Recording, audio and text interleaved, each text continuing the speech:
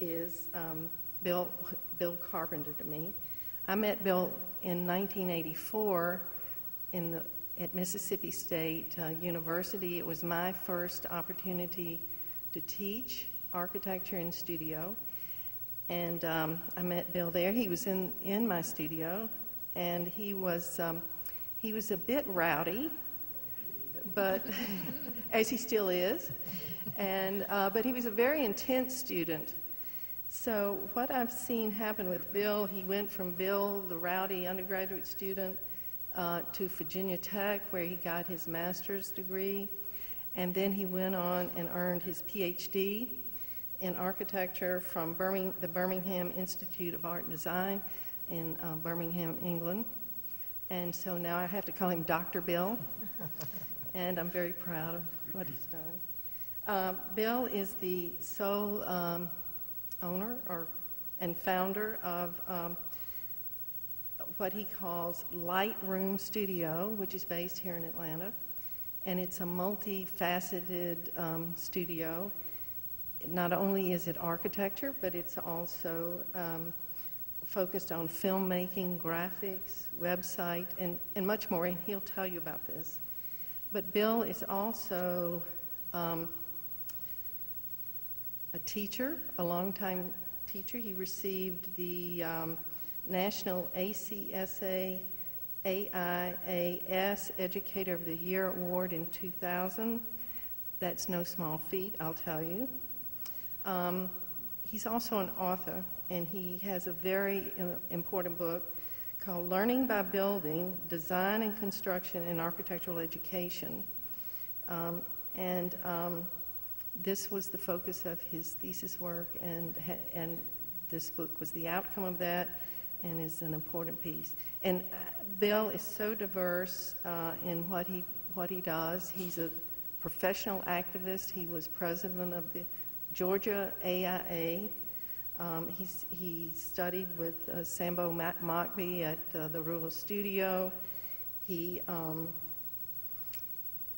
he's impressive all around. so with that, um, uh, well, I didn't mention any of the awards uh, that Bill's work has gleaned, but rest assured that, that there's, there's a tall stack of them there. And um, Bill is, uh, is such an exciting person to have here in Atlanta uh, doing all that he does. So with that, um, I think that I'll leave the podium and we'll turn it over to Oscar and then Amy and then Bill.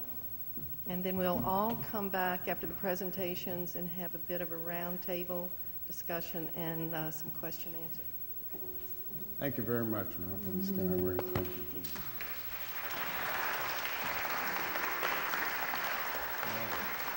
Hello, everybody.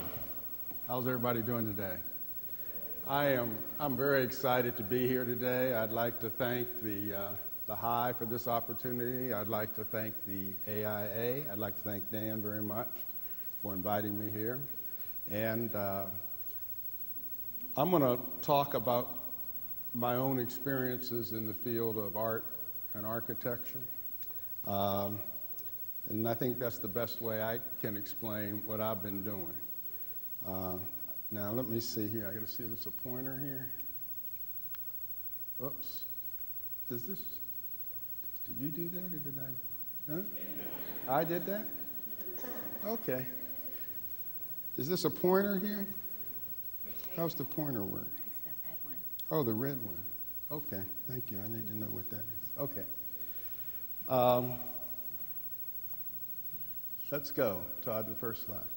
This is, uh, I started off actually, uh, this is a painting that I did when I was five years old, five or six years old. And surprisingly enough, it's of architecture. And at that point, I did not know I wanted to be an architect, but I was doing buildings even then. And one thing I want you to take note of the, the color because it's been very interesting because I've had to go back and look through a whole lot of my uh, things to come to this presentation. So I've found out a lot about myself. So uh, I didn't realize this my own self. So uh, this is one of my first uh, paintings uh, coming from the soul of a five-year-old. Next. This is a sketch I did at 10 years old. Um, I went to uh, Disney World. Uh, while I was at Disney World, I met Mr. Walt Disney himself. And Walt Disney himself signed this thing and he said to me, You're doing a great job. Keep up the good work. And that got me enthused to keep on uh, drawing. Next. Uh, so these are just a few of the early uh, pencil sketches that I was doing, uh, like 10 and 12 years old. And then I uh, really didn't realize I've been drawing since all that time. So next. Um, that's my mother right here, and that's me. And uh, the interesting thing is about this is that this is in 1953. Uh, My mother and myself and her friend, we went from Pittsburgh, Pennsylvania to Paris on a prop airplane. This is a prop